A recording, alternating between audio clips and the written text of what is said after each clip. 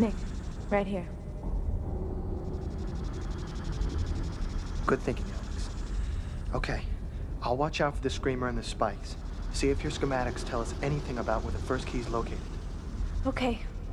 There. That corridor. I think it leads to the second level.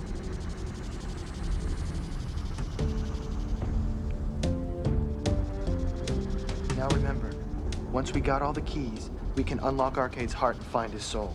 And Alex, no matter what happens, don't worry about me. Keep moving forward. We're all getting out, Nick. Then let's go.